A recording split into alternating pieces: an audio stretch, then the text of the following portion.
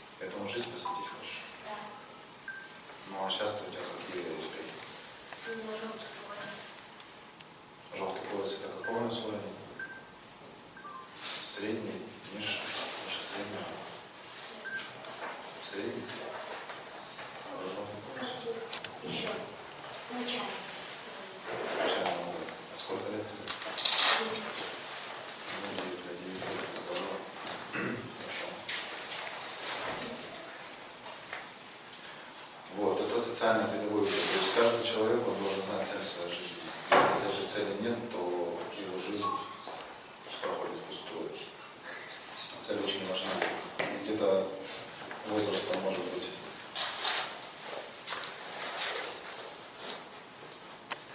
ну, где-то около 12 лет человек уже должен знать, чем он будет заниматься. Где-то к 12 годам уже проявлена природа человека.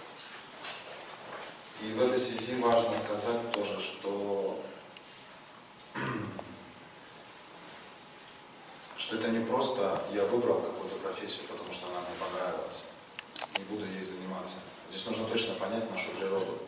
То есть у каждого из нас есть своя природа. Если мы ее не знаем, мы просто какую-то профессию выбираем, очень большая вероятность того, что через какое-то время она мне надоест. Встречались с такими людьми взрослыми, которые начинали этим делом заниматься, поступали куда-то в какое-то учебное заведение, а потом разочаровывались, или начинали работать, а потом думали, ну мне это уже не нравится. Вот на самом деле это очень часто происходит в жизни общества. Вот, и поэтому очень важно понять свою природу. То есть наша деятельность она должна соответствовать нашей природе. Вот для этого существует учитель, который помогает человеку в этом. Так, все, да, мы собрались уже, или что-то подъедет. Непонятно? Ладно, тогда- Может быть, один-два. Может, Ладно, тогда я буду уже говорить остальные вещи, но не буду больше ждать никого. Вот, и я буду говорить какие-то вещи, мы с вами будем обсуждать, чтобы вы тоже как бы были в теме. Вот скажите мне, чем отличается преподаватель от педагога? Знаете вот такое различие? Пожалуйста. Может подавать не просто для знания, а педагогу или как-то личный подход имеет к человеку. Вас как зовут? Или Ирина, очень хорошо. Ну, а еще кто может как-то думать? Вообще у вас есть такое различие, различие педагог и преподаватель? Как ты, Ваня, думаешь? Учитель в школе, который тебя учит математике, это педагог или преподаватель? Это препод- это преподаватель. Почему? Потому что нам не дает ничего такого важного, а просто вот что как бы Все не важно. не важное,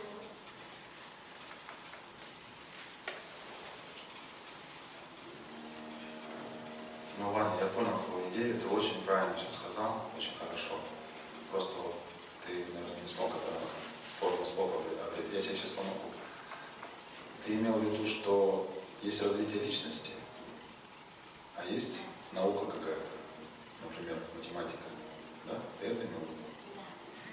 Вот, Потому что, в конце концов, конечно, все важно, но есть более важные вещи, есть менее важные вещи. Если это связано с. Ну как вы, ребята, согласны?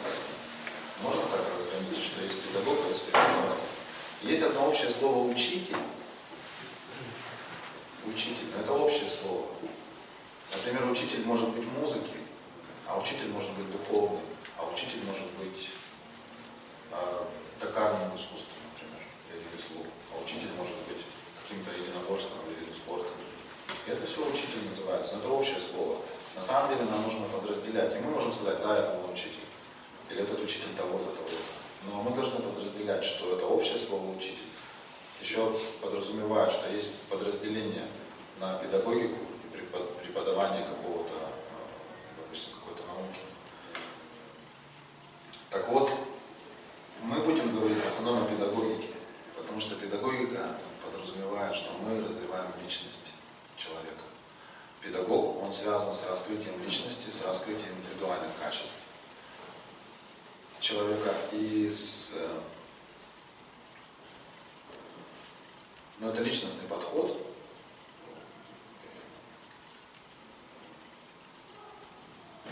И он не бывает таким, что просто я даю какие-то знания как информацию.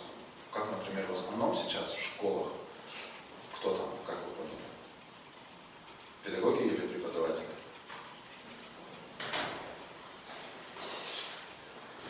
В современной школе кто учит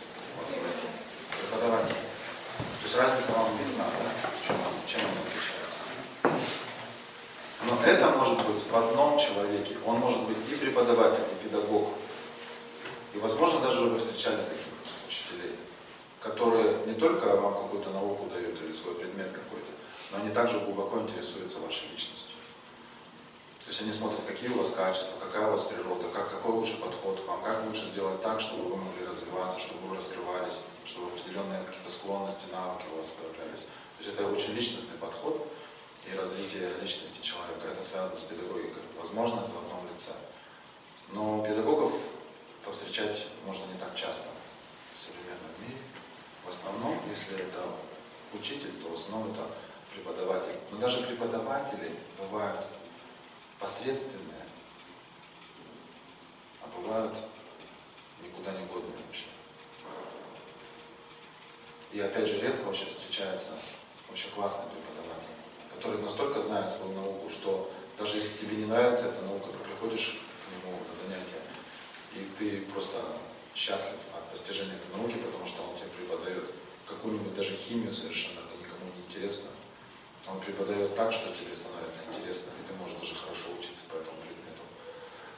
Попадаются нам такие преподаватели по каким-то из, э, может быть, предметов.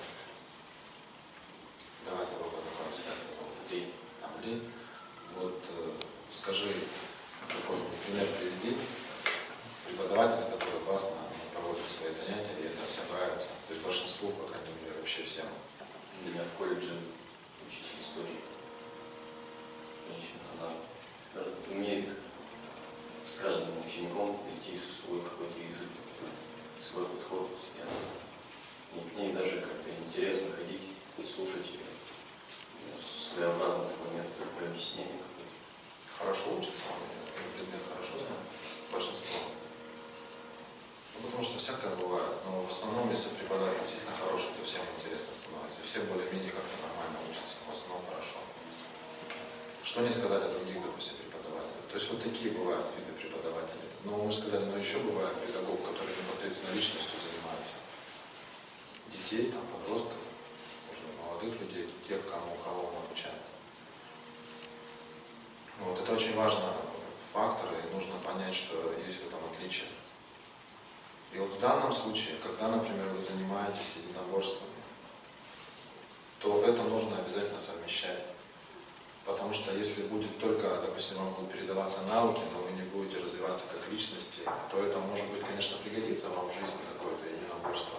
Вы можете этим заниматься, например, как профессией своей, а может даже не будете заниматься этим в своей жизни. А просто какое-то время вы занимаетесь, потом вам это надоест, вы будете работать, чем-то там другим заниматься. Просто у вас навыки какие-то, может быть, останутся.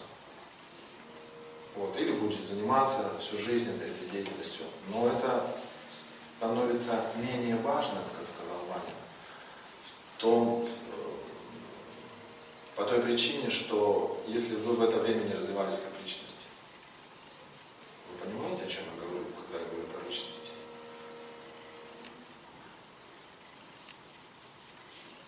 Вы личности вообще?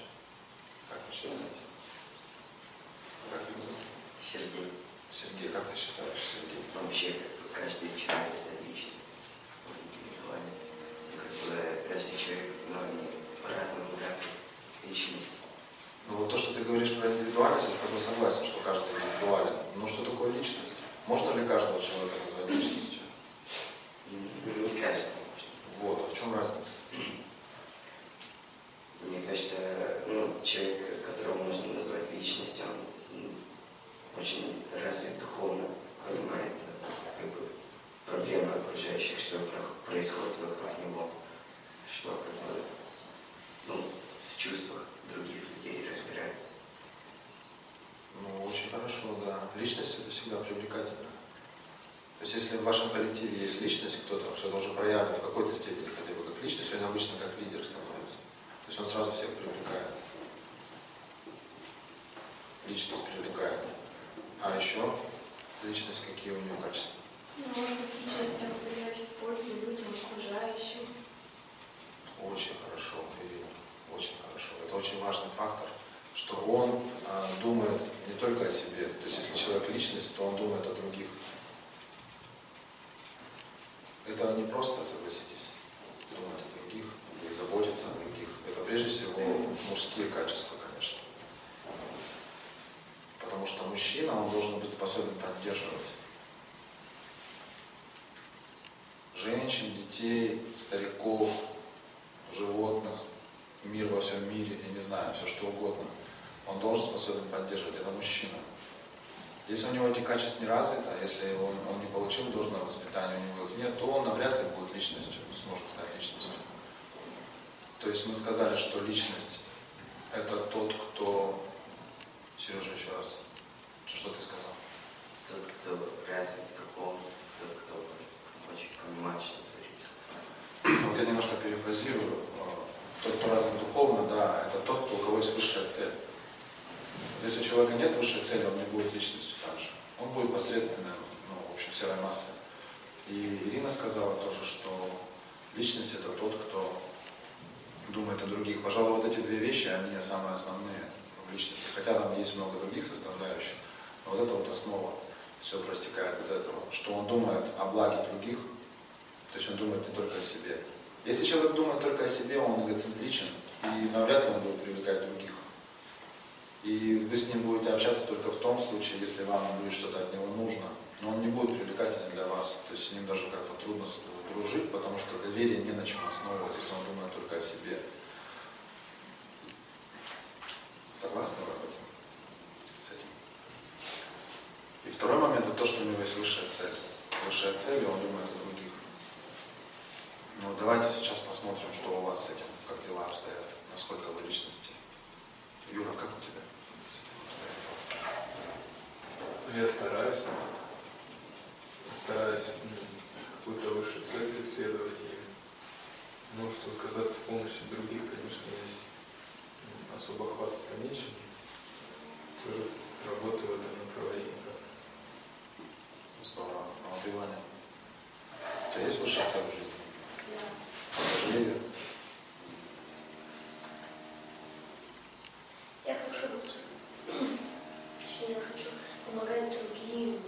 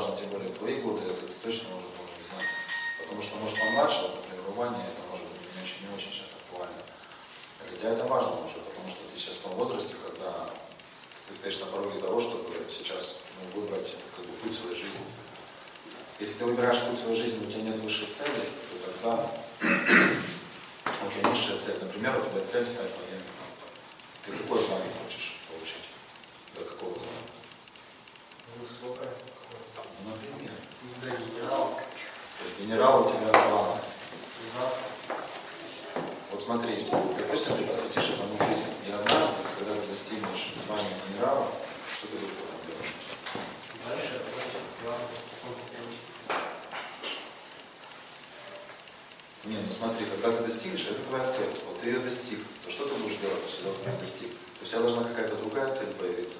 Например, цель пойти на пенсию. Но, по-моему, это скучная же цель. Вот поэтому в основном существует такой средний возраст людей, где-то в районе 40 лет, когда они разочаровываются. То есть они всего в основном достигают в этой жизни. И вот этот средний возраст, такой тяжелый, они разочаровываются, и они ну, очень сильно как бы даже в депрессию люди погружаются, потому что они, в общем-то, всего достигли, чего они хотели в этой жизни к, к этим годам. И они не знают, что дальше делать. Вот, мне не, не- не хотелось, чтобы у вас то же самое было. Поэтому мы сейчас говорим о высшей цели. То есть есть некая цель, которую можно достигать до последнего вздоха своей жизни. И как бы к ней идти. И она не заканчивается, что я что-то... Это цель духовная, конечно же. Потому что если мы материально что-то только возьмем лишь, то когда достигнем мы, там станет скучно. Ну, потому что все, мы цель достигли. Человек не может, чтобы не идти к чему-то. Он должен всегда куда-то идти. И зачастую бывает, что люди никуда не идут, поэтому их жизнь очень-очень серая, невзрачная и скучная. Они в основном начинают э, принимать интоксикации. То есть это алкоголь, наркотики, они просто, ну, либо они находят какие-то другие виды а, наслаждения чувств, просто для того, чтобы забить вот это вот отсутствие высшей цели в своей жизни. И сейчас в основном этому нигде не учат в учебных заведениях. Заметили вы? Учат вас о высшей цели. Какая ваша высшая цель? Преподает вам кто-то это? Вот об этом в основном сейчас не говорится. Но это необычайно необходимо для каждого человека, для каждого из вас.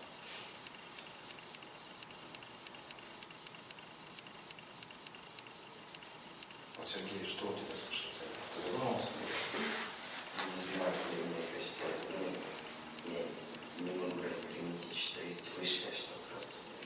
Ну, у тебя у меня как в цели, просто чтобы вот на, как бы, в моем сейчас возрасте я понимаю, вот как, что для меня есть родители, но я хотел бы э, ну, как бы достичь того, как, ну, стать какие они, чтобы они, ну, они когда уже будут в возрасте пожилом, чтобы они могли меня слушаться.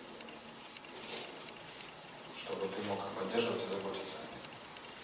Ну, не знаю, чтобы, ну, как бы, это уже ближе к материальной цели, чтобы они могли положиться именно на них, заботиться. Ну, как бы, это тоже, конечно, мы сейчас можем, обсуждая это, понять, то есть в чем высшая цель. Если мы размышляем над этим, то мы понимаем. Но вот сейчас у тебя такие вот цели, как бы есть. Ты хочешь заботиться о своих родителях. На самом деле это твоя дхарма, это твои предписанные обязанности. То есть вот, сын должен заботиться о своих родителях. Это обязательно. То есть когда они становятся в престарелом возрасте, это для каждого. Вот. Но есть личная какая-то цель, которую ты тоже можешь достичь, например, в своей профессии или в своей деятельности. А с этим что? Ну, вообще, как и здесь у меня очень широкий фан. Замечательно. Какой? Но вот сейчас вот школу окончу, последний год поступить в университет и потом ну, на, на ранних стадиях, ну, курс с третьего, где-то работать помощником, какой-то капиталом работать и открыть небольшой магазин. То есть ты хочешь торговлей заняться? Как-то, ну да, возить из другой страны. И ты сможешь этим заниматься всю жизнь? Я думаю, что так, потому что у меня... То есть ты будешь возить прямо, ездить будешь в Нет. другую страну? Нет, как заказчик, ну как, не знаю, честно, предприниматель. Просто это э, вид деятельности с моим взять. Ну, такой есть вид спорта еще, BMX называется. Ну, как вы знаете, небольшие велосипеды такие. Да, различные, ну, То есть ты будешь велосипедом торговать? ну, практически, да. Потому что, не знаю, у нас в городе ну, ни одного нет такого предприятия.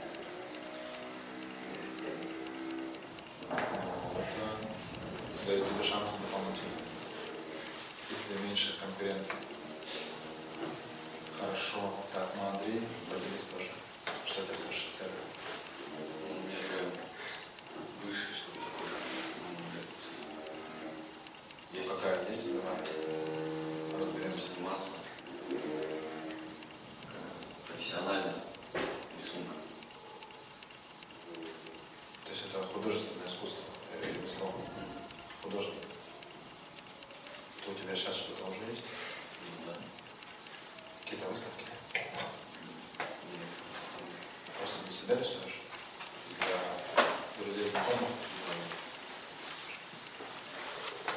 Ты хочешь этому посвятить свою жизнь? Ну, Замечательно. А давно ты занимаешься? Себе. Все, приличный срок. Но я не учился в художественной школе, я сам.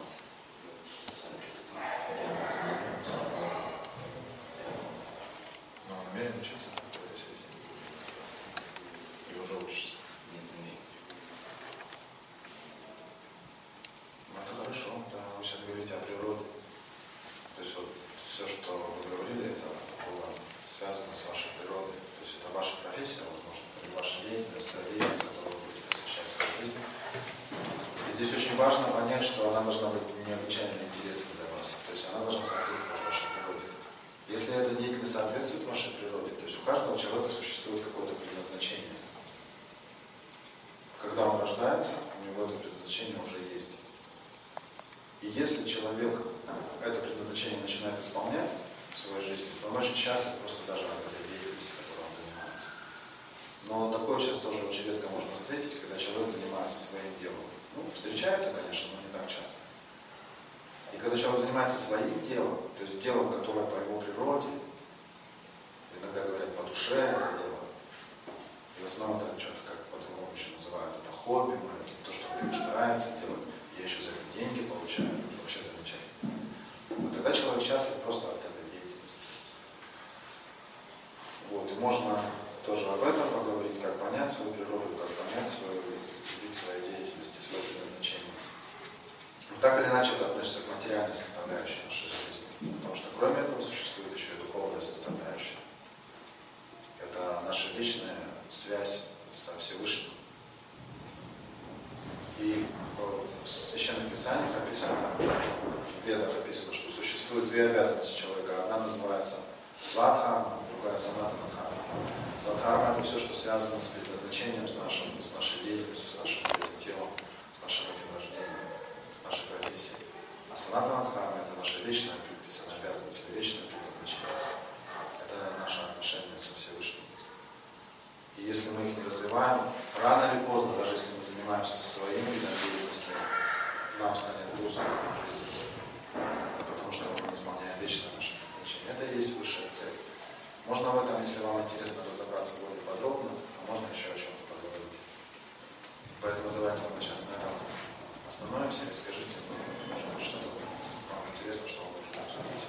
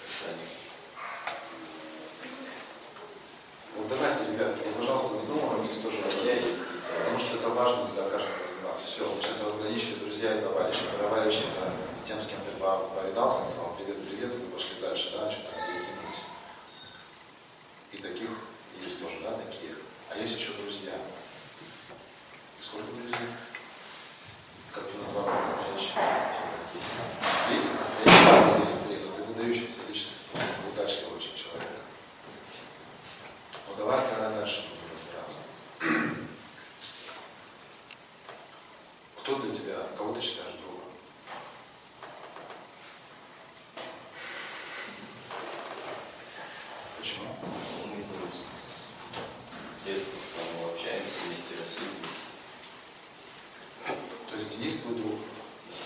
А еще? Ну вот я спрашиваю, кто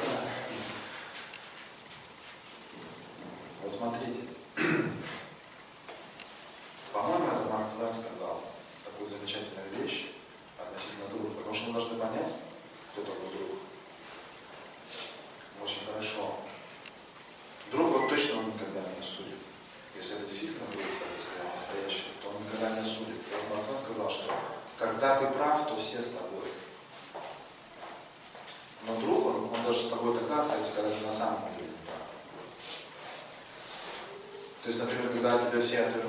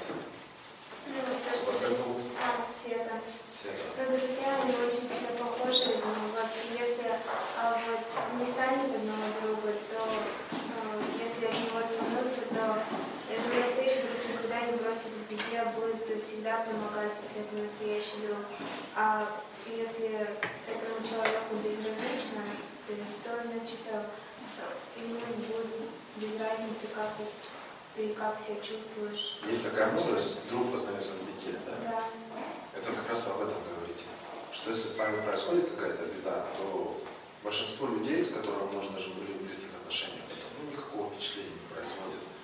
Но именно друг это тот человек, который не бросает, который как раз в этот момент понимает, что именно сейчас он должен выступить как ваш друг и там, или подруга и начинать помогать вам в этой ситуации. То есть вы это имеете в виду. Но я спросил,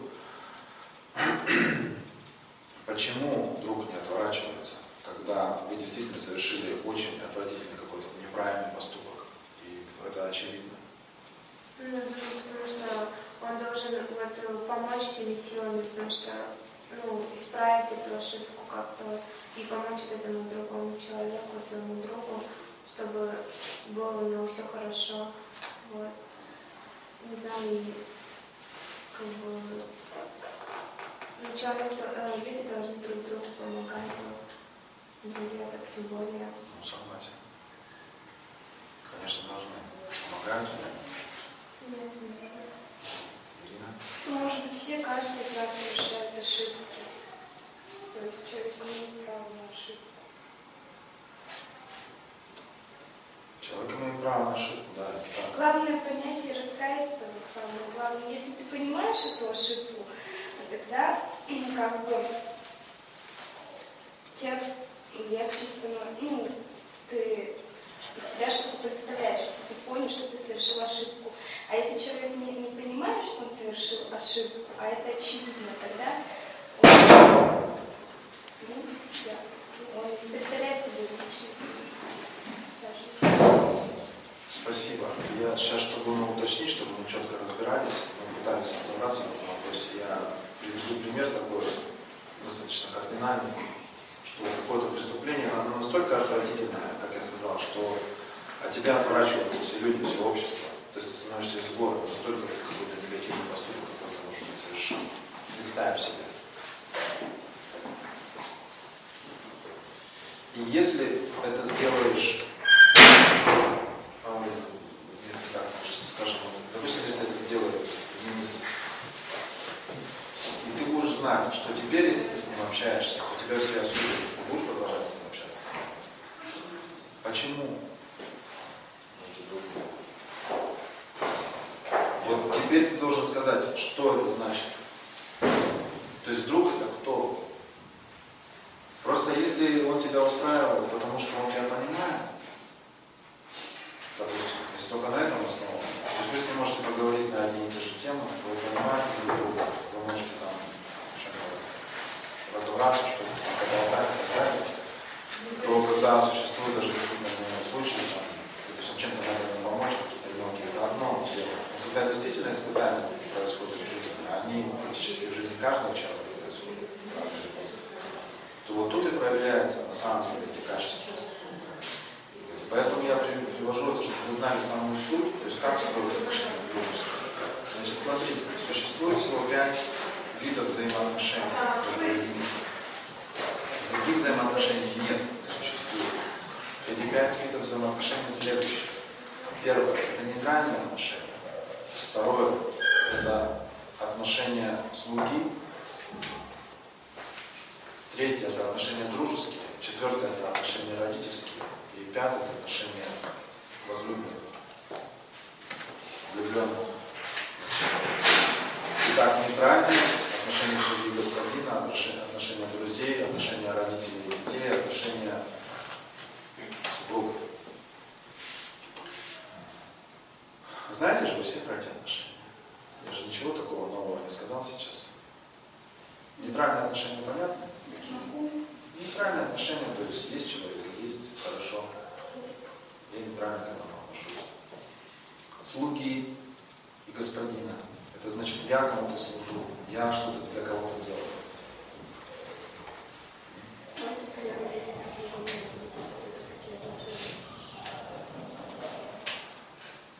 Ну, мы сейчас о ненависти не говорим, мы говорим сейчас о позитиве, потому что ненависть это практически то же самое, только с другим знаком.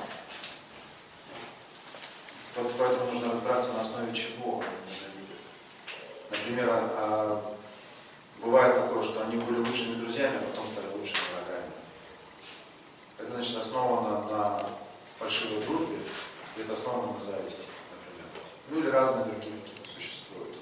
Причины, по которым мы начинаем ненавидеть других.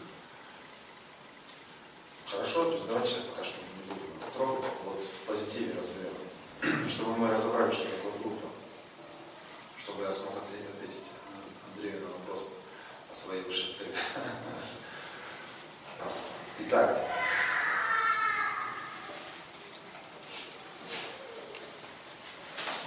все начинается с нейтральных отношений. Даже когда у матери рождается ребенок, у нее нет к нему сначала любви. Любви нет в самом начале. Мать. Ну вот так вот нет, потому что что это за суще- за существо?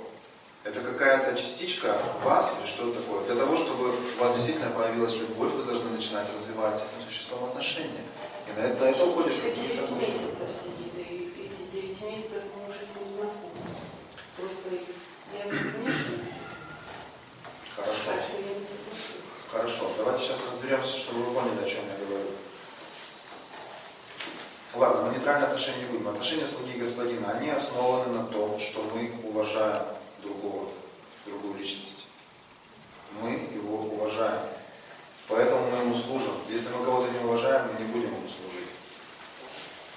И если мы начинаем служить какому-то существу, это то, что вы делаете со своим ребенком. Вы начинаете ему служить. Вы начинаете что-то для него делать. И так у вас начинает проявляться уважение к. Через какое-то время у вас появляется, ну это уже когда он постарше становится, у вас появляется к нему доверие.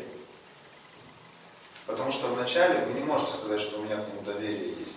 Особенно, когда он, например, напысал на вас сидел, или вазу вашу любимую разбил, или только что обои наклеили, а он фломастерами все изрисовал. То есть нету доверия. Вы не знаете, чего от него ожидать вообще в следующий момент. Но потом, когда ребенок растет, через какое-то время, если вы продолжаете ему служить, то есть а, в отношении слуги господина, то есть из нейтральных отношений вы переходите в отношения слуги, то есть вы начинаете ему служить, и у вас появляется уважение к нему, затем это уважение к нему настолько сгущается, что оно перерастает в доверительные отношения. И примерно в подростковом возрасте родители со своими детьми должны начать дружеские отношения.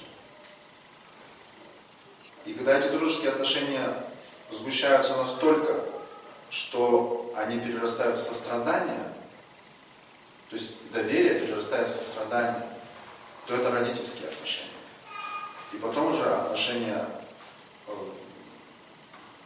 как между мужем и женой, это высшая любовь. И все эти отношения, они связаны с любовью. То есть это разного рода, допустим, слуги и господина это любовь определенная, дружеские отношения это определенная любовь, родительские отношения супружеские отношения определенная любовь. Считается, что там самая высшая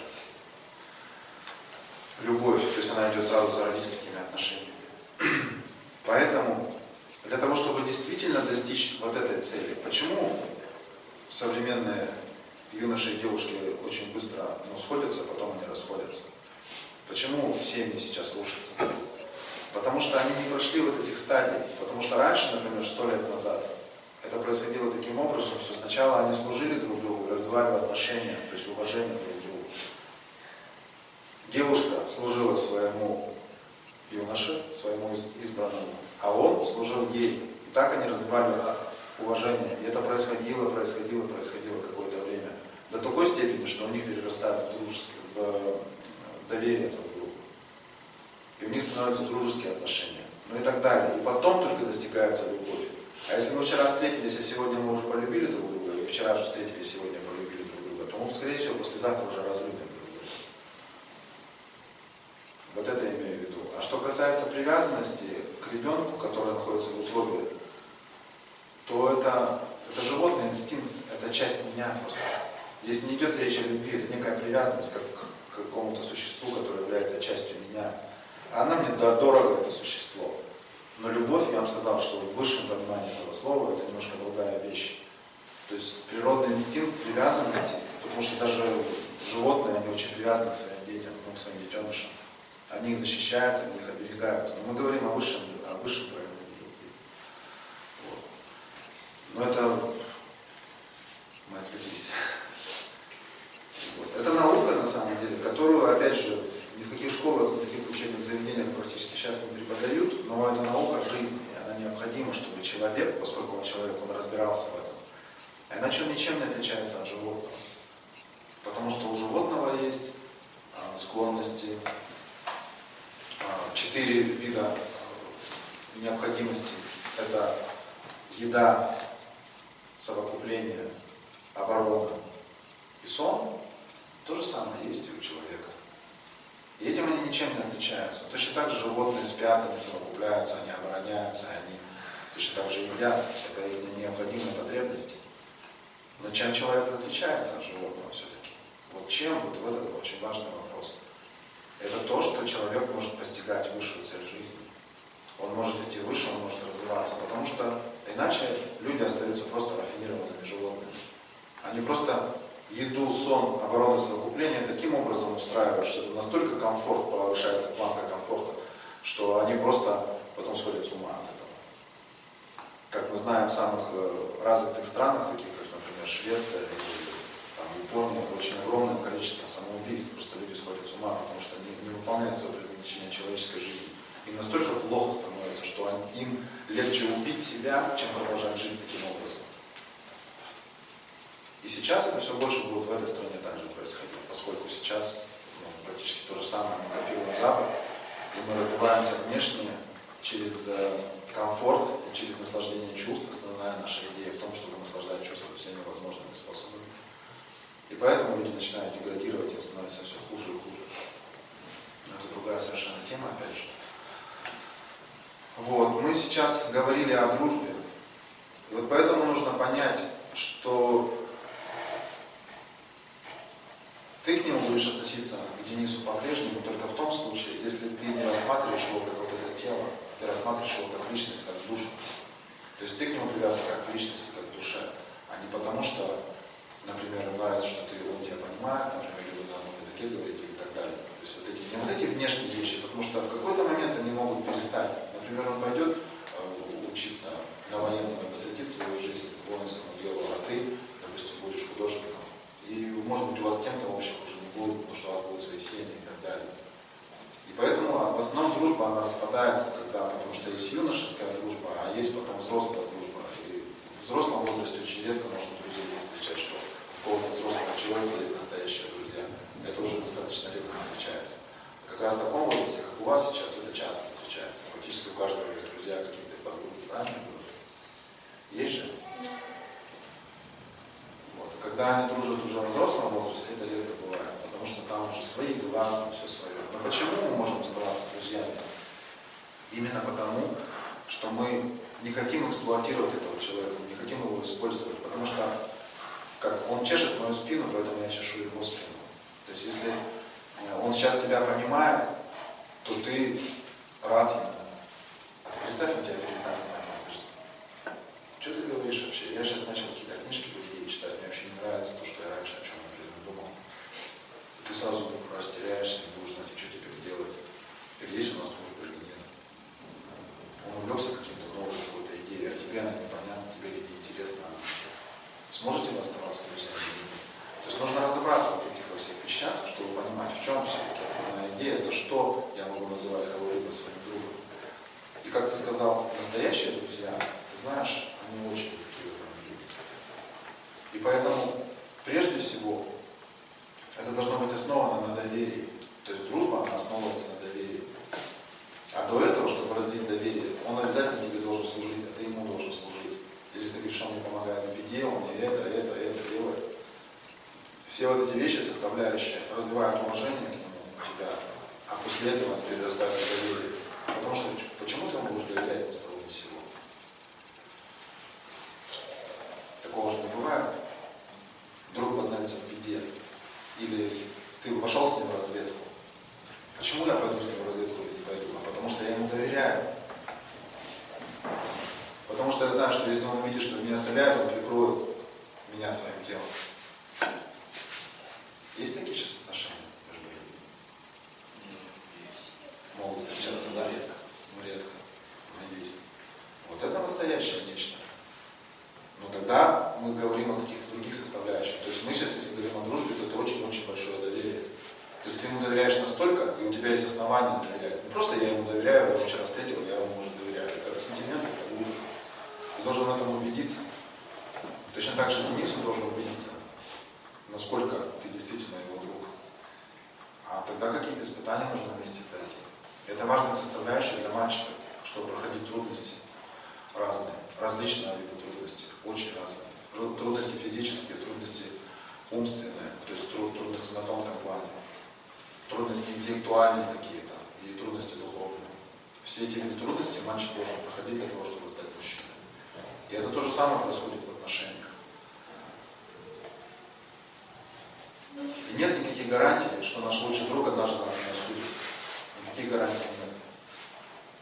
А если ты его девушку отобьешь, он всю жизнь на тебя обидится, хотя он был твоим другом. Такое часто бывает в жизни.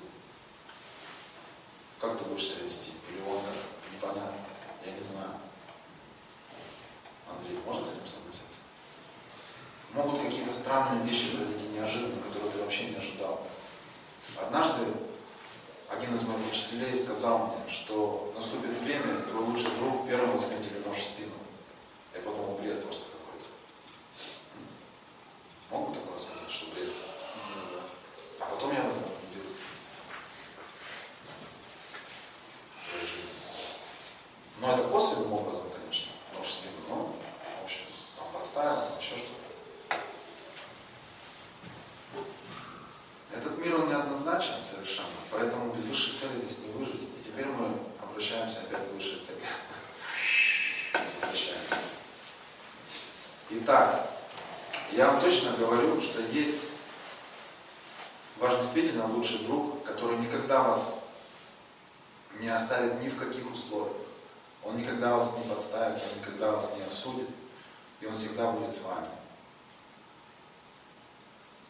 Это личность Бога, которая находится в сердце каждого. И Он знает о вас все абсолютно. Это духовная составляющая, которая почему нам сложно говорить, потому что мы материалисты, то есть мы материально обусловлены. Потому что изначально, хотя мы духовные существа, но сейчас мы материально обусловлены, поэтому мы не можем видеть этих отношений. Но я знаю, что каждый из вас знает, что на самом деле у вас есть. Это тот, кто всегда о вас заботится, и тот, кто всегда вас защищает. И даже когда с вами происходят какие-то очень-очень-очень нехорошие вещи, почему часто люди говорят, что если бы Бог был, то такое безобразие бы он не устраивал, ну как, он, как бы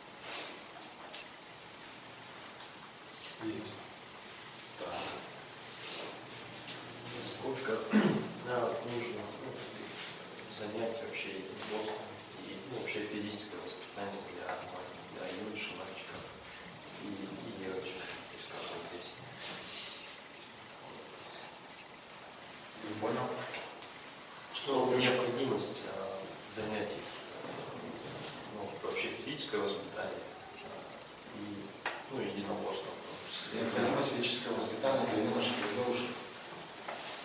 Ну, вот мы с вами когда ехали, я вас спросил, какая аудитория. Вы сказали, что будут родители, будут учителя. Но это одна тема, потому что поскольку у нас в основном ученики, то я не стал этой темы касаться, но если это вам интересно, я, конечно, могу об этом сказать. Но может быть, ребятам тоже интересно в каком плане. Но необходимость, конечно, есть эта. Но это мы возвратимся к тому, что существует четыре сферы человеческой жизни. Это физическая сфера, это интеллектуальная, это эмоциональная, это духовная. Всего четыре сферы. Нет другой какой-то сферы в нашей жизни. Вот их четыре всего. И, например, если гармония в этих четырех сферах, то человек развивается очень гармонично, и он удовлетворен и счастлив. Если какие-то крены, а зачастую они как раз и происходят, то люди несчастны остаются. Иногда даже есть духовная составляющая, физическая, интеллектуальная, нет, нет эмоциональной составляющей. То есть нет человека, который меня понимает, я бы ему высказался что-то, а он меня послушал, а потом бы я ему что-то рассказал. Такого человека, например, нет. Хотя я занимаюсь и духовно, там в церковь хожу, и там, я не знаю, интеллект развиваю, там, и физическая подготовка у меня классная. А нет эмоциональной, например, нет друга, то я буду неудовлетворенным, буду несчастным. То есть это говорит о том, что все четыре сферы человеческой жизни должны развиваться. Вот у нас, например, в школе, в моей, мы как раз стараемся, чтобы эти все четыре сферы человеческой жизни, они в гармонии шли. Вот и физическая составляющая, это для подростков, для ребят это очень важно. Потому что очень много энергии, нужно использовать. И в этот момент нужно обязательно.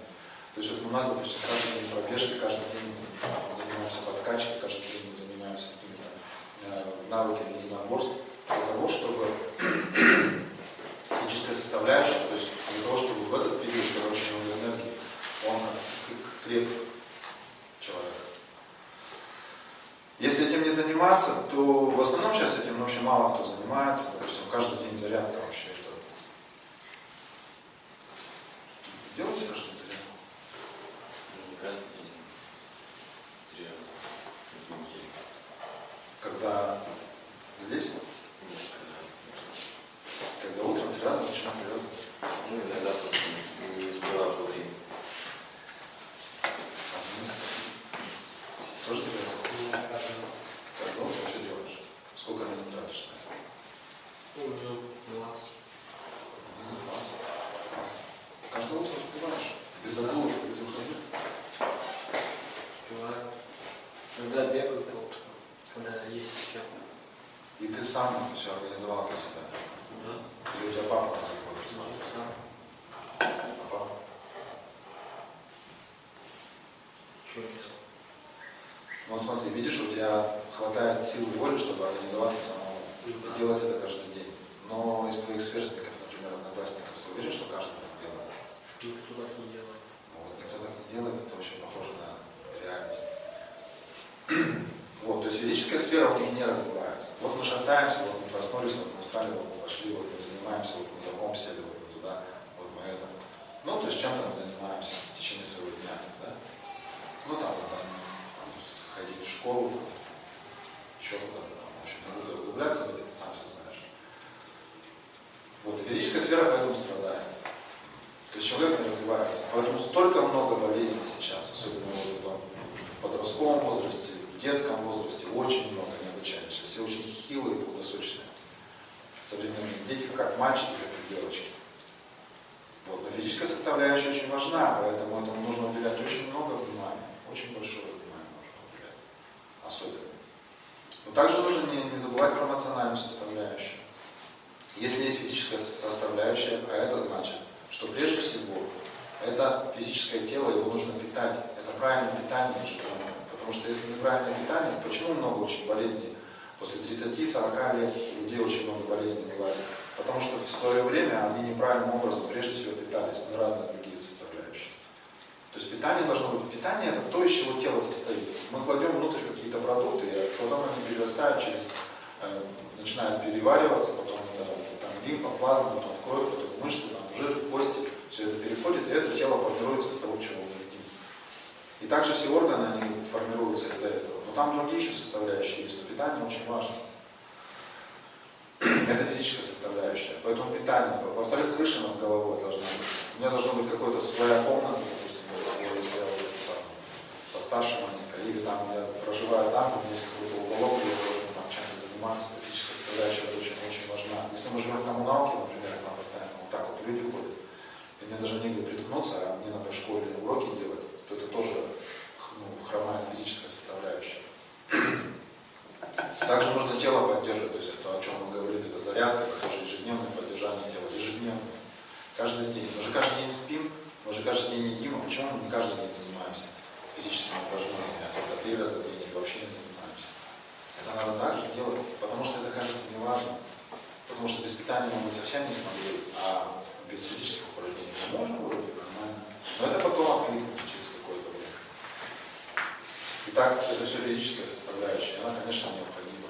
Если мы занимаемся единоборствами какими-то, то мы должны быть в более в форме, потому что зачем мы занимаемся? Зачем ваши ребята, которые ходят к вам на занятия, зачем они занимаются? Какая у вас цель? Ну, по-разному. Ну, Кто-то занимается а, ну, просто что со сверстниками сложно там в отношениях, то есть, ну, как бы уверенность. Чтобы обороняться. Ну да, в принципе, большей части так, да. То есть кто-то занимается для того, чтобы ну, просто физически сильнее, то есть чтобы внутренняя поверхность появилась. Не для защиты, Для самоутверждения. а чтобы сила как бы внутренняя появилась. Кто-то кто профессиональный. Смотрите, это очень ну, профессионально, наверное, пореже, да? Ну да, редко. В основном кто-то посвятит этому жизнь, это очень часто встречается. Единицы. Вот. Ваня. Thank you.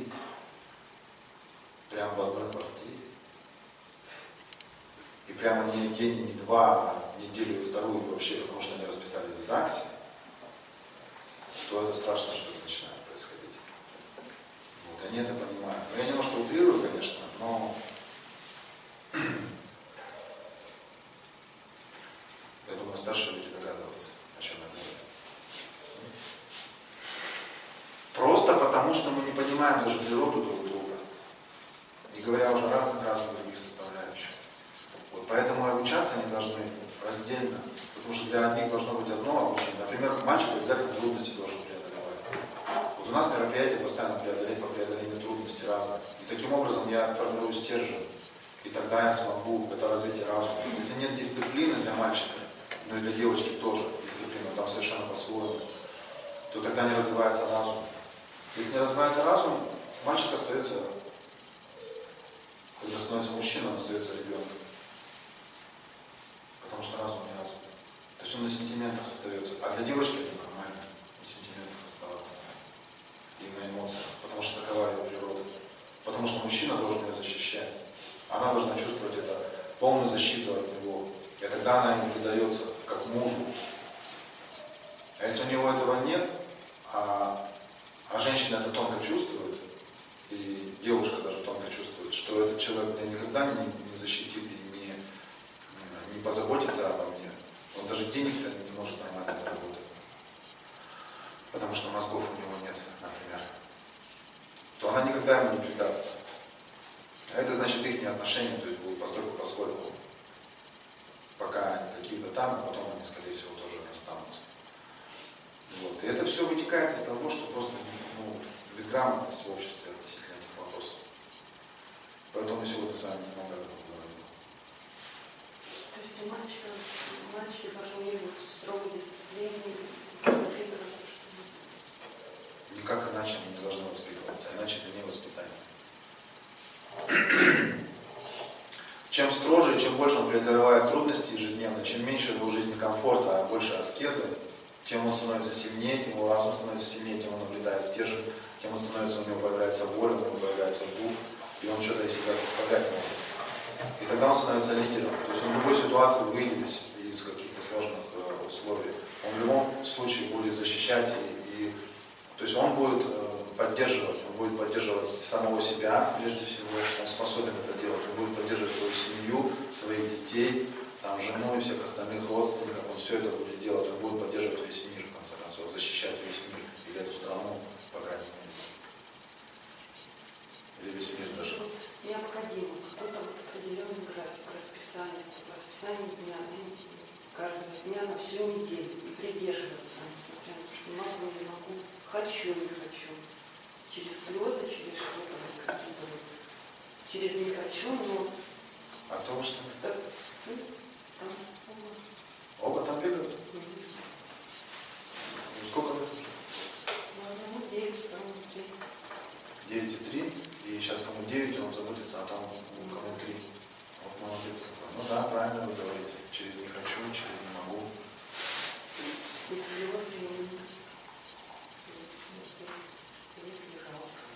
То есть вы их воспитываете или? Папа нет? Не воспитывает.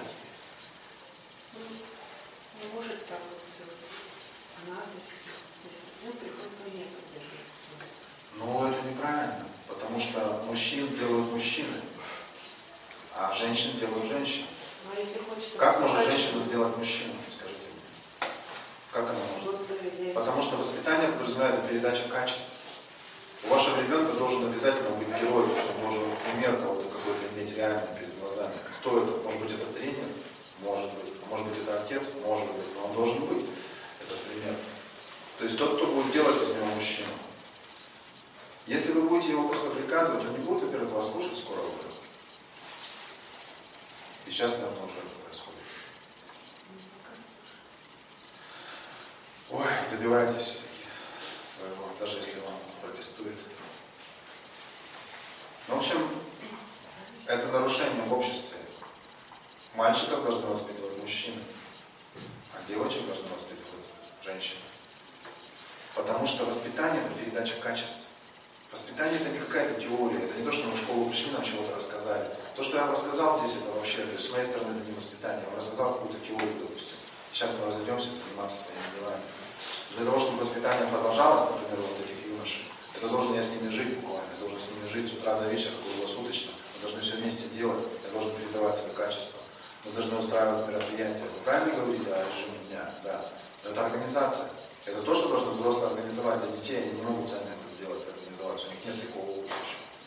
Они должны организовать все. Если вы это делаете, конечно, как на- на- наибольшая выгода из невыгодной сделки, как бы, ну, я выражаю почтение свое. Но по поводу качества, насколько это будет качественно, ничего не могу вам гарантировать. Потому что это немножко по-другому все происходит. В идеале, А как вот еще, вы сказали, что, допустим, к окончанию школы, 12 лет, да, ребенок должен определиться и знать, к чему он, он хочет в дальнейшей жизни, Он должен понять, каково его предназначение, какова его понять себя, что ему нравится, что ему не нравится. Вот как помочь ребенку понять? Ну, разные способы. Какая вот помощь, Какие-то обратные кружки и секции, там, что-то Ну да. рисовать еще что-то. Один из способов, да. В основном это наблюдение. Можно гороскоп сделать, можно нумерологию посмотреть. Можно отдавать в разные кружки и секции. Но в основном это все равно наблюдение. То есть мы наблюдаем. Но опять же, не то, что он в квартиру приходит и уходит. Он должен в обществе. Мальчик должен находиться в обществе обязательно. Так же, в принципе, и девочка. То есть в коллективе. В коллективе он будет раскрываться. Если он только приходит с- к вам, к вам домой, допустим, в квартиру, там, там с мамой, с папой только находится, ну, он не будет раскрываться там. Почему он говорит, я хочу погулять? Можно я погулять? Гуляет он у вас? Хочет погулять? Мама, можно Нет, погулять? не всегда. Иногда? Иногда. Иногда не особо. Ну, то есть, а почему? Что он делает, тогда? А, ну сейчас же компьютер квартирах, да? Компьютер. В основном, да, они сейчас все меньше и меньше гуляют. Раньше постоянно гуляли, потому что компьютера в квартире не было. Телевизор показывали что-то там часов 5 всего лишь в день. Было два канала. Один канал 3 часа, другой 5 часов показывал.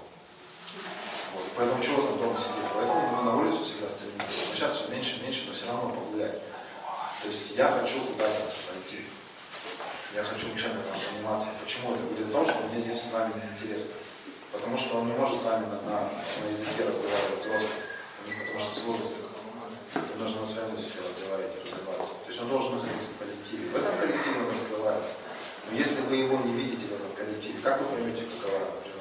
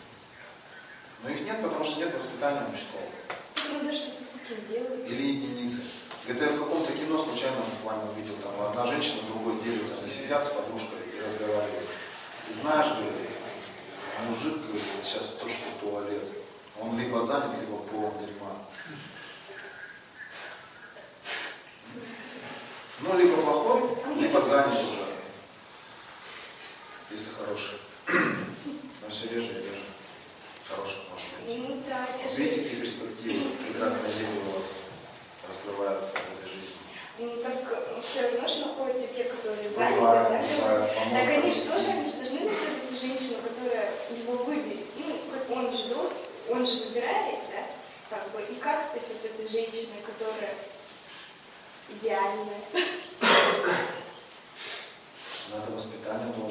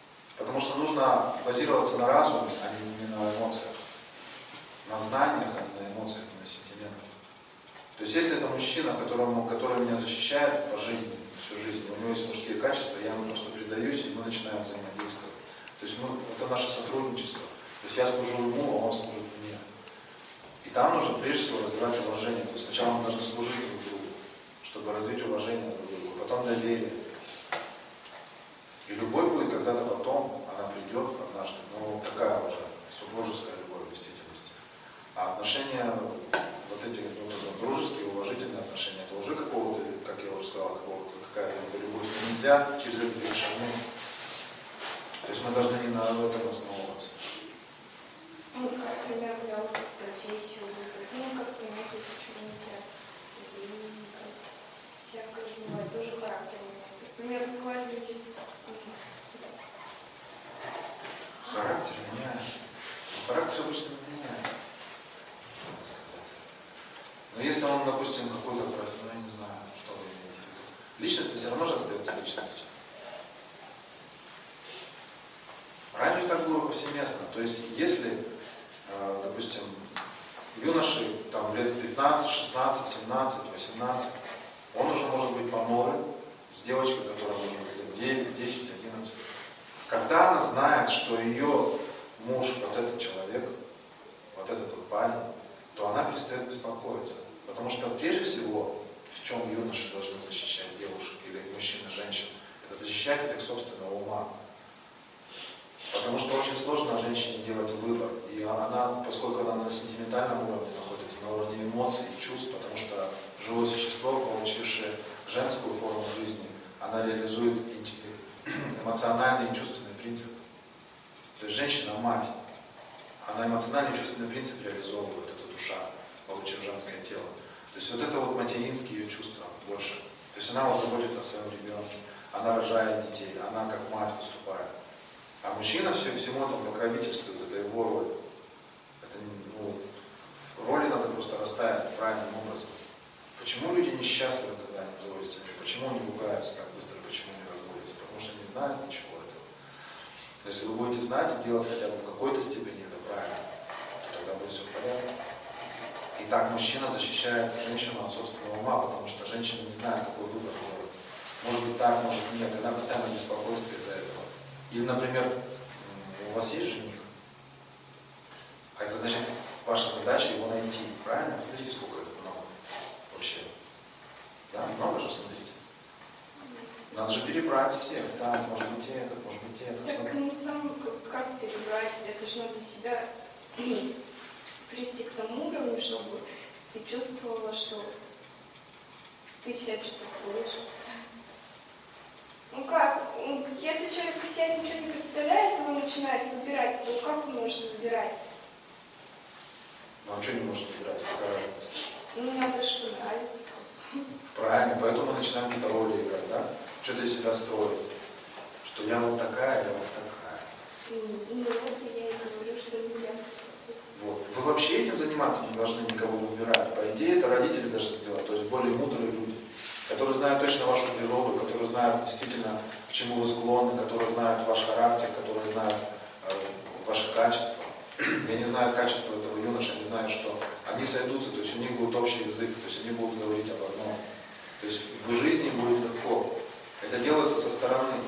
Но ваш выбор на основе чувств. То есть нравится, не нравится. Мне нужно ему понравиться, мне нужно, чтобы он тоже мне понравился. Так это? Что значит понравился? Как это вот часто там какие-то есть, не знаю, анекдоты?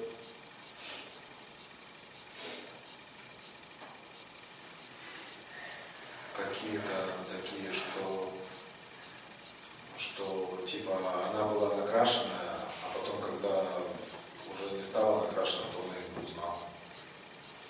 Да я не буду в подробности вдаваться, но так, в общих чертах.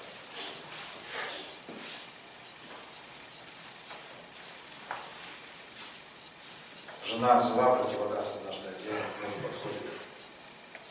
Говорит, я чем-то изменилась. Он смотрел, смотрел, говорит, брови что ли выщипала? Знаете такое? есть чувственный принцип вот это, то есть на чем мы основываемся? На каком-то лице, что ли, которое, которое будет э, меняться, будет стареть, и будет еще как-то изменяться, еще будет как-то то, другое с ним будет происходить. А характер что вы имеете в виду? Он добрый, что ли, какого? Злой или чего? Нет, характер. Это качество личности, понимаете? Поэтому если он мужчина, и у него есть мужские качества, то нужно на него полагаться, вот и все. Проблема-то в том, что сейчас очень редко встретишь действительно личность мужскими качествами, потому что утрачен принцип воспитания в обществе. Мальчики остаются мальчиками, вырастая, они остаются мальчиками. Совершенно правильно сказали, что он сидит дома, потому что он ни на что не способен. У него нет даже стержня своего. Он как, как лидер, он не проявляется. Он не может заботиться о ком-то, потому что он о себе даже не может позаботиться. Потому что у него не было должного воспитания, опять же. Встречаете вот таких детей, или молодых людей, или мужчин уже? Вот, и все на этом основывается. Поэтому вам нужно как раз думать о том, чтобы найти, чтобы действительно это был мужчина, то есть это был правильно воспитанный личность. Поэтому он вас никогда не бросит, он будет о вас заботиться. Он будет вашим, вашим лучшим другом, вы будете постоянно о нем заботиться. И это будет семья тогда. Но женщина также хранительница очага, она должна атмосферу в квартире создавать. Есть если она думает о муже, она эмоциональная составляющая его, она создает эту а, атмосферу в доме, то тогда тоже все в порядке, то есть там вот это есть гармония. То есть каждый играет свою роль. Какую роль играет мужчина, какую женщина в семье. Надо тоже это знать. Я не могу сейчас все это вам рассказать. Это бесконечное знание. Это очень много составляющих. Но я стараюсь говорить в основном о принципах, чтобы вы поняли, в чем же все-таки эти принципы, на чем они основываются. Можно с этим согласиться, как вы считаете? Можно подумать об этом еще. Светлана как?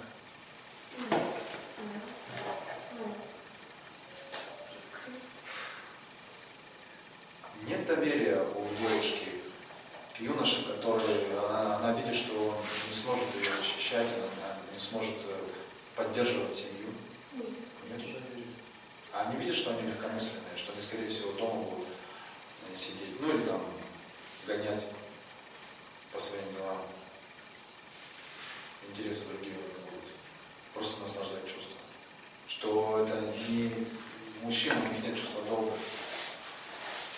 Чувство долга – это высокий уровень очень. И вот этого не хватает в современном обществе. Просто потому, что нет воспитания должного мальчика. Поэтому они остаются, как бы, у них женская природа. Потому что ребенок, когда рождается, у него женская природа. Мальчик, девушка, не важно. У каждого человека есть женская природа и мужская. У мужчин есть женская природа, у женщин есть мужская природа. Но они там должны быть в гармонии находиться. Например, у мужчин есть тоже женская природа. Они, например, иногда проявляют какие-то сентименты. Например, мужчина может заплакать, да? Может такое произойти? Мужчина как вы? Может что такое? Да, может, потому что женская природа есть мужская. Просто они там должны быть правильно сбалансированы. Вот. И когда ребенок рождается, у него только женская природа, там мужского ничего нет. И потом, чтобы сделать, чтобы из мальчика получился мужчина, нужно очень много усилий приложить, очень много вливания сделать, энергии вложить. Тогда он станет мужчиной. И поскольку сейчас, это называется воспитание с 5 до 15 лет, поскольку сейчас этот принцип утрачен, то вот эти вот мальчики остаются как бы девочками. То есть они остаются на уровне чувств и ума просто. А девочек не надо сильно воспитывать, там другая совершенно структура и подход вообще другой.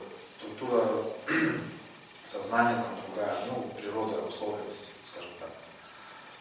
Поэтому там другое совершенно. То есть им не надо, чтобы они прям через трудности проходили как мужчины, это чтобы стать мужчиной, как мальчики. Вот. И поэтому их по-разному воспитывают. И если мальчиков не воспитывают, у них остается вот эта женская природа, у них нет стержня, у них нет мужских качеств. Поэтому вот это то общество, которое вы сейчас можете видеть перед собой. Можно с этим согласиться? У вас опыт есть. Саша, вопрос Ну, у меня вопрос немножко провокационный был. Ну, Где их сейчас брать, вот этих вот квалифицированных мужиков? Интересно же? Это же, это же их нет. Потому что в садиках Или как? женщин, в школе учителя женщин. Пошло поехало. Да. Пример дома. папа лежащий, допустим, не знаю, работали. Пиво, диван, телевизор, Да. компьютер. Потому что женская природа у папы. Потому что не получил должного воспитания. У него нет мужских качеств. Мужчинами не рождаются, мужчинами становятся. Их нужно обрести, их нужно огромно вложить в них, чтобы они стали мужчинами. И вот, кстати, насчет э, единоборства. То есть, если даже мальчик занимается единоборством, это значит, что у него мужская природа развивается. Совершенно не обязательно. То есть, может да, а может и нет. Потому что мы говорим не только о каких-то навыках, например, техники какой-то борьбы или какого-то единоборства, допустим, а мы говорим именно о развитии характера, то есть личности, раскрытии качеств. Поэтому как бы, составляющая это только одна составляющая. Как мы говорили вначале, что тренер может быть, а, он может быть учителем, как допустим, просто преподавателем. Он, преподает им технику, но он может раскрывать их как личности и делать их как мужчин. Действительно. Мне кажется, что вот это очень важно.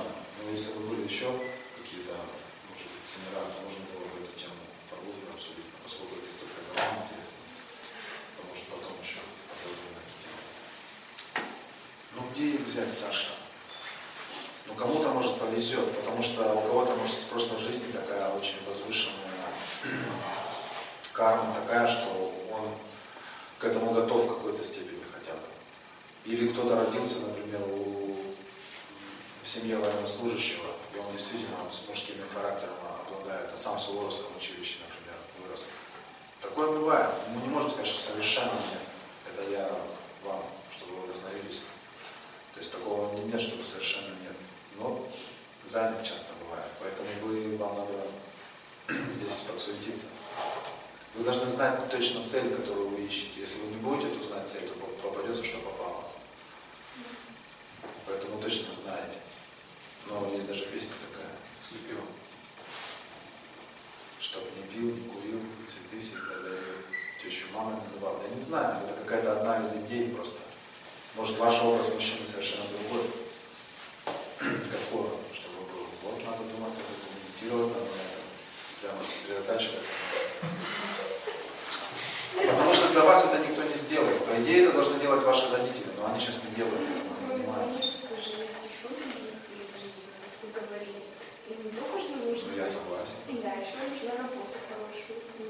Нет, не хорошую, у меня чтобы, чтобы в душе, да, дух- духовно развиваться. Может, хорошее это денежно, значит.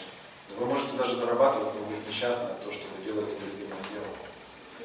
Хорошее, потому что как бы, чтобы зарплата была хорошая, высокая, и чтобы ты удовольствие получал от этого.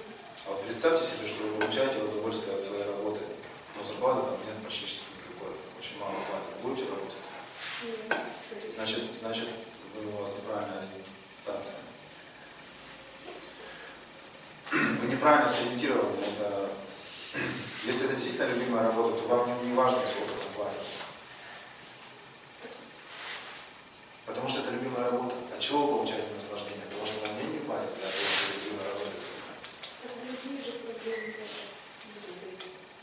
Нет, ну мы сейчас не об этом говорим. Мы говорим о другом. Мы говорим о вашей любимой или нелюбимой работе. Вот давайте, ребята, я вам тоже скажу. Четыре вопроса, ответив на которые положительно или каким-то образом вы поймете, ваше это дело или нет. Например, ну, Денис выбрал уже себе профессию. Вот я, я тебе задаю четыре вопроса. Первое. Это дело нравится тебе самому. Да. Да, это положительный ответ на первый вопрос. Очень просто. Второе. Это нравится также тем, кто тебя окружает. Ну, я думаю, что да. Например, твои друзья, твои родители или тот, э, кому ты будешь, э, занимаясь этой профессией, с кем ты будешь э, соприкасаться, им это нравится, что ты занимаешься этим делом. Но это может быть сложно сейчас сказать, потому что ты им еще Ну, сейчас, занимаешься. принципе, насчет друзей, вот, я еще не знаю, но насчет родителей это да. Это уже им, как бы я знаю, что им нравится. Уже? Да. С раньше нет? Ну, как бы, Сомневались? раньше они и сомневались, можно так сказать, Ну и думаю, то, что я там раньше так говорил, просто. Сейчас я убедились в том, что Сейчас какие-то Ну хорошо, здесь маленько не, не полностью ответ, потому что когда ты уже прямо непосредственно этим делом занимаешься, то тогда, например, ты сам стал офицером, и тогда я спрошу у твоих подчиненных, им нравится, как ты командуешь? Если мне скажут, да, нравится, значит, это тоже твое дело. Я, вот, в принципе, учился в Суворовском училище два года. Я был заместителем командира взвода, был сержантом, командовал взводом. Ну, как бы никто не жаловался. То есть у тебя такой опыт уже был. Да. Замечательно. А со скольки лет, скольки ты учился? Ну, я шестой класс учился в кадетской школе на поселку, здесь недалеко. И седьмой, восьмой класс, два года, я учился в Суворовском противнику. А это серьезный опыт. Ну, хорошо, второй вопрос. Теперь третий вопрос.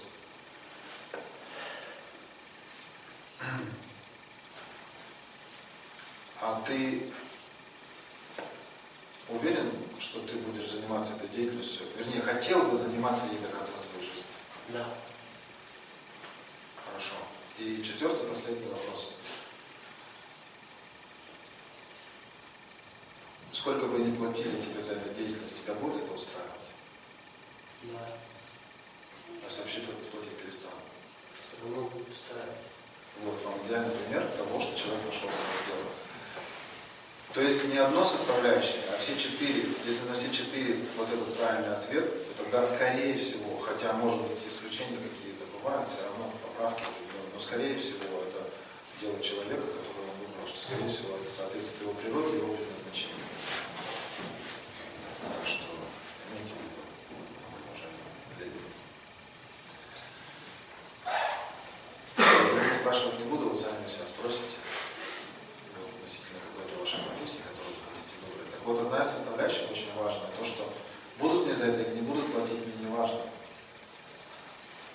Конечно, мы хотим, чтобы у нас было, и иногда такое бывает, что за любимую работу мне платят огромные деньги. Например, бывает, что актеры э, известные, они действительно, это их природа.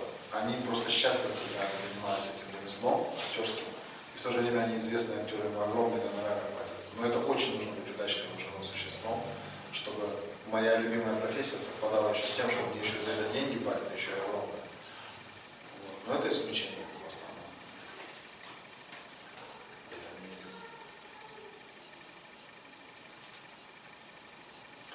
Что-то еще не смогли?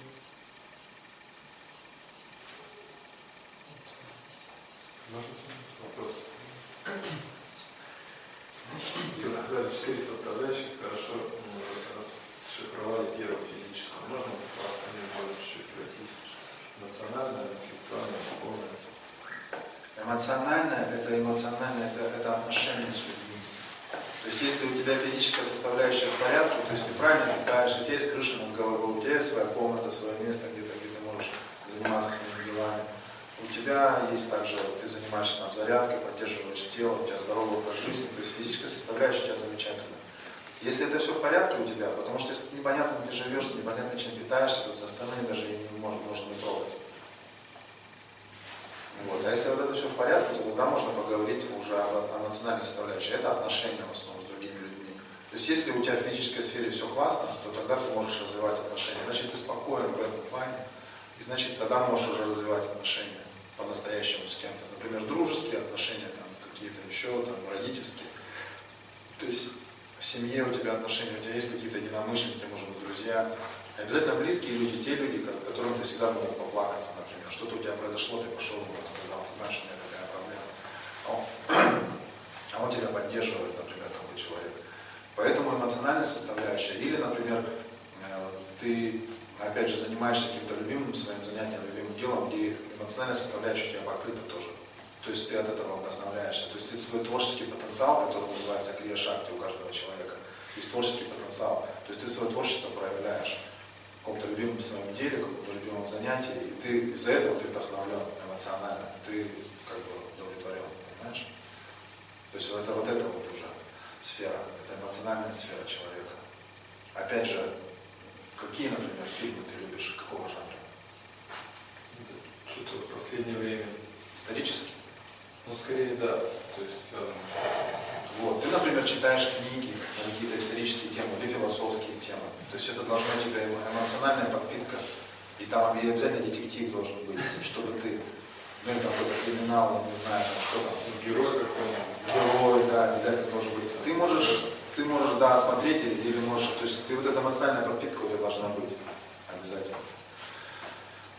Книги, журналы, не знаю, какие-то кинофильмы, какие-то вещи еще связанные с этим.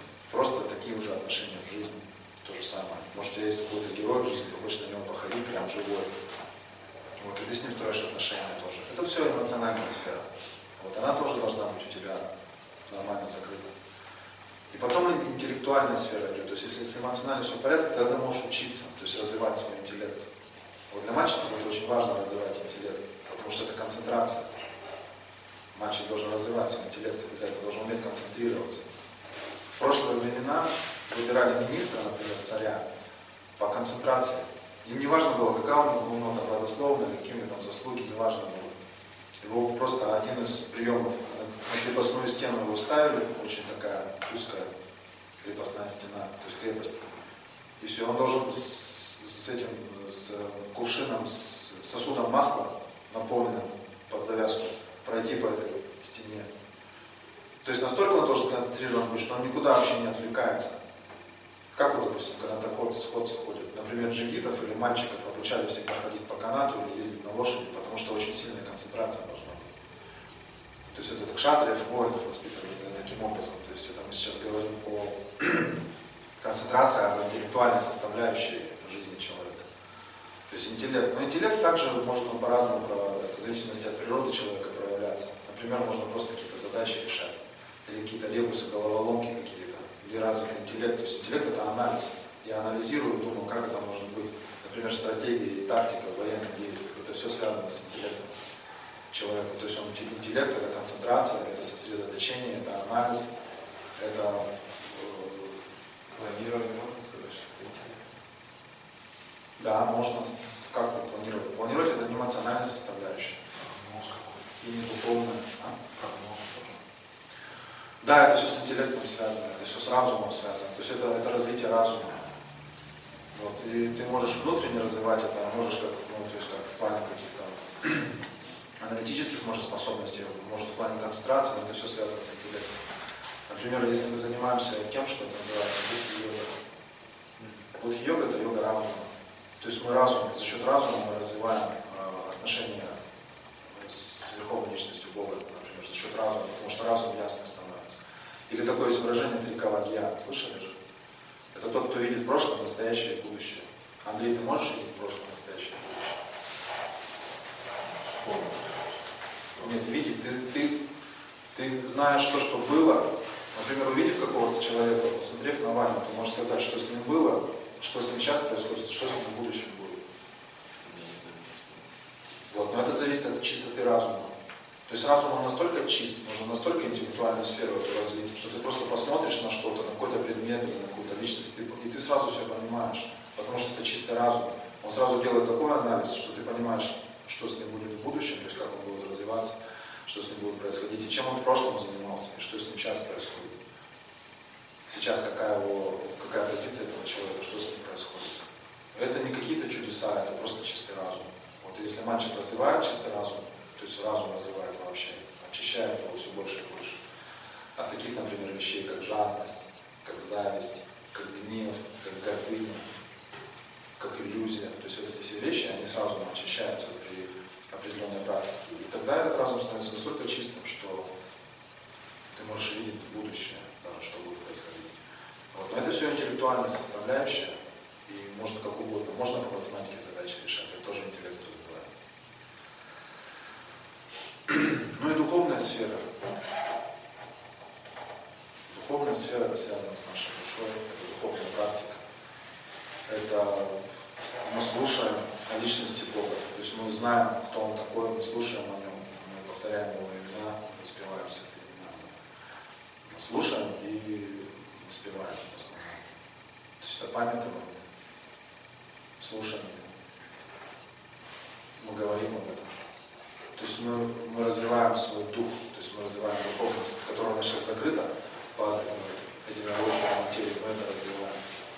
И основной способ это слушать, говорить и помнить. Вот четыре составляющие.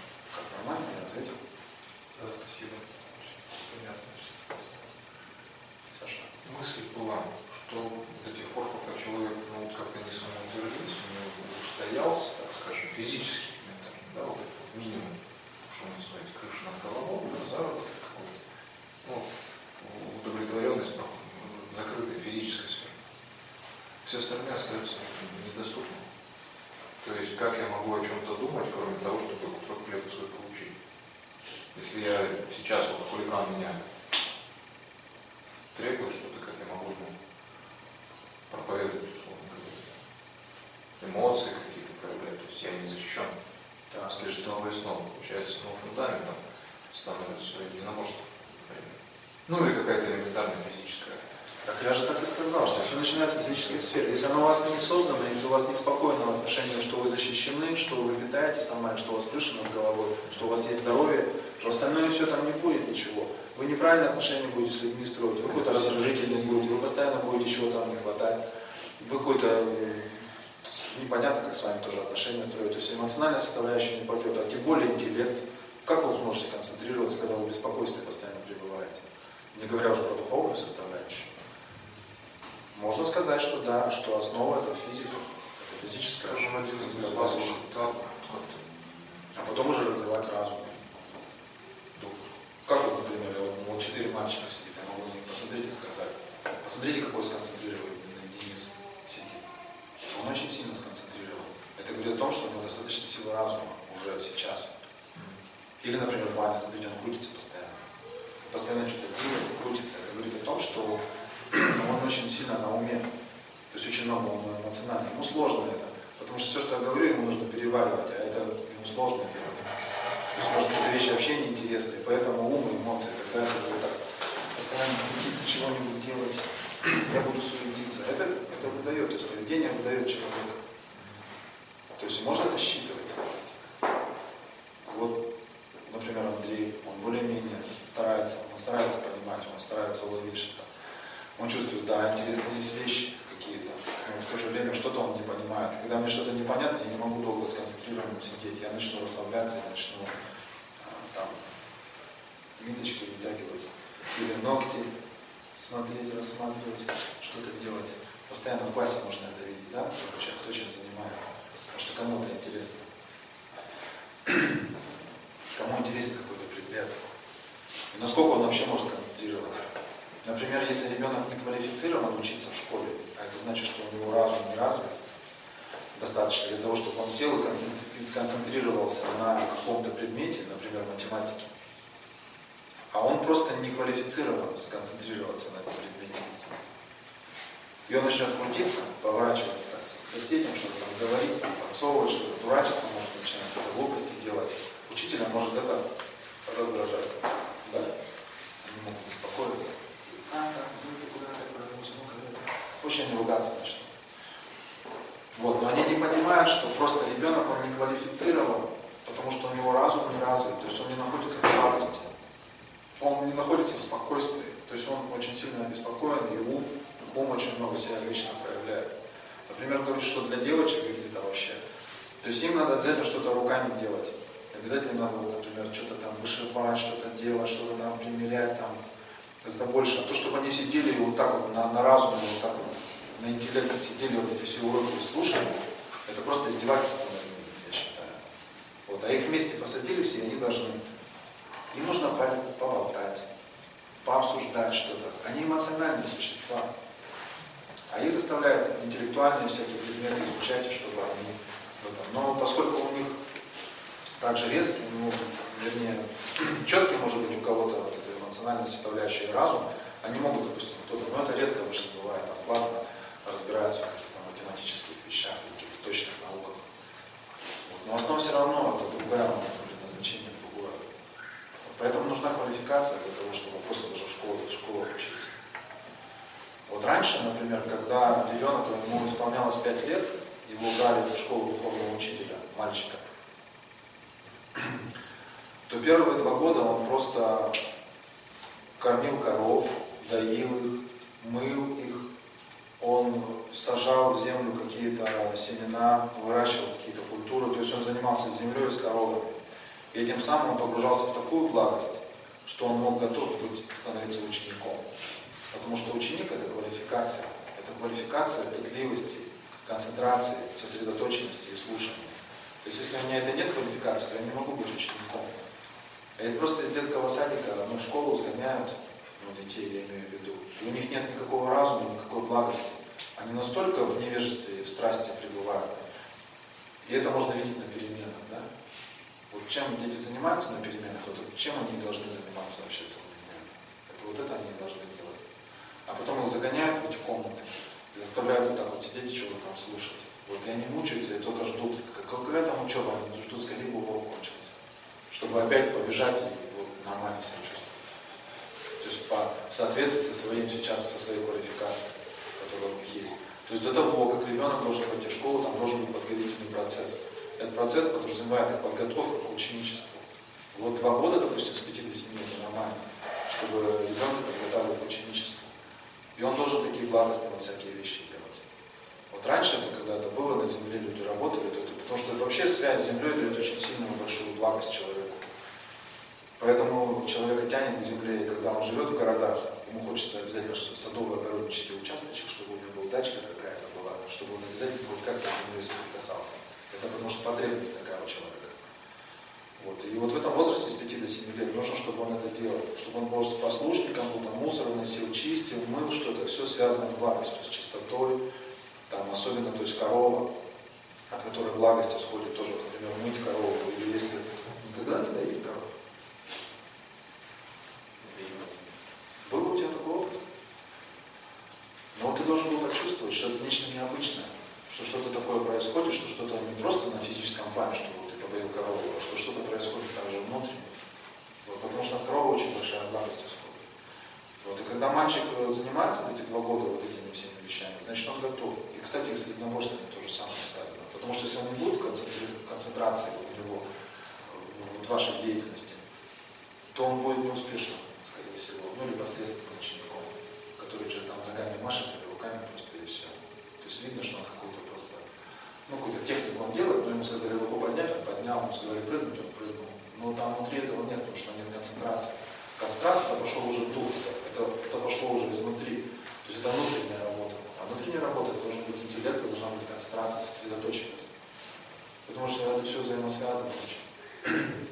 Поэтому в основном вы можете видеть, что ваши ученики не особо.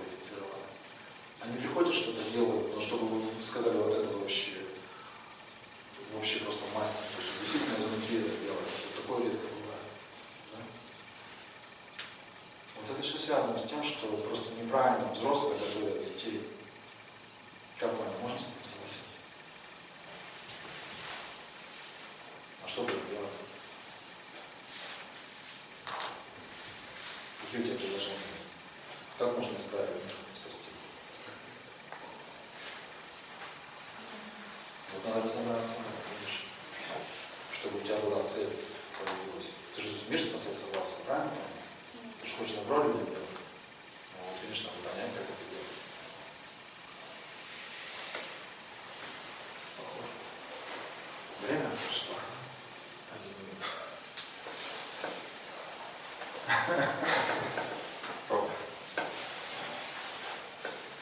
Ну что, так как вы устали, то нужно, я думаю, остановиться. Вот. Но я думаю, что есть